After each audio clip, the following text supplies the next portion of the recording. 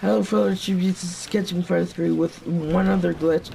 And this isn't just any glitch, this is that boat glitch that I already did. But this is gonna explain it. So what happened was I jumped into the water. I was swimming.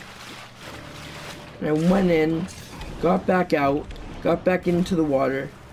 And what would have happened if it actually worked was it would actually, let's just swim around a little bit, keep moving, and it does triangle do that, and then, you know, that, it's supposed to, like, bring you over this way, like, throughout it, and the only way to stop it is to either change your character or whatever.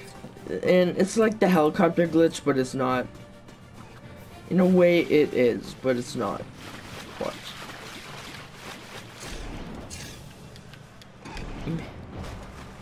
I don't know how to do it. I, I forgot, but it's the way I showed you in the video where I was swimming around.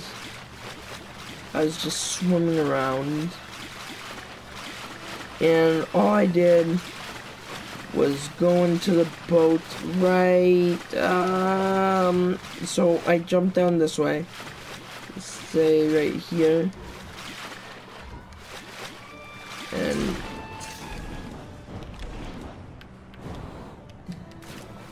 Okay, I fucked up, but you know, you know how it goes.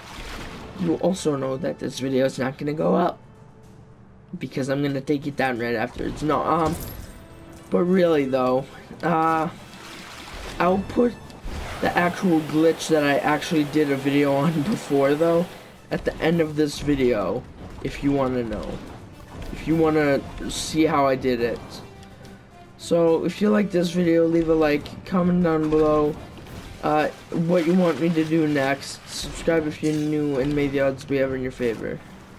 Bye. Wait! Is it doing it? I'm moving, guys. I actually did it, too. Maybe I won't add it in the end of the video. See, I'm moving. See? I'm moving a little bit. Yeah, maybe I will still put it at the end of the video. Who knows? I don't yet. I, I will. Bye.